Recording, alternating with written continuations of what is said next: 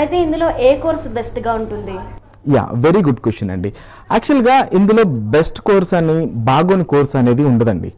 ఆ కోర్స్ అనేది స్టూడెంట్ స్కిల్ని బట్టి వాడి నాలెడ్జ్ని బట్టి వాడికి ఏ ఏ ప్రొఫైల్ మ్యాచ్ ఉంది లేకపోతే అవ్వగలదు అనేది ఏంటంటే వాళ్ళకి మేము ఇచ్చే కౌన్సిలింగ్లో మేము వాళ్ళకి ఎక్స్ప్లెయిన్ చేయడం జరుగుతుంది.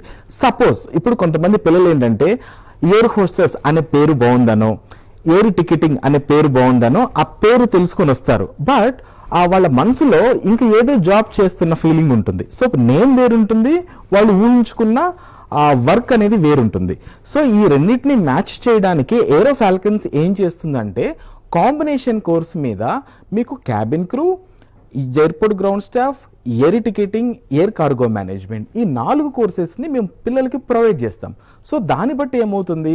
ఈ నాలుగు కోర్సులో స్టూడెంట్ దేంట్లో వాడు బెస్ట్గా ఉన్నాడో తనకి తెలిసిపోతుంది. దాంట్లో బెస్ట్ కెరియర్ సాధించుకోవడానికి ముందుకు వెళ్తాడు. అలానే మేమిచ్చే డెప్త్ ఇన్ఫర్మేషన్ వల్ల డెఫినెట్గా చాలా షార్ట్ డ్యూరేషన్లోనే తను ఒక హై డెసిగ్నేషన్కి వెళ్ళటం జరుగుతుంది.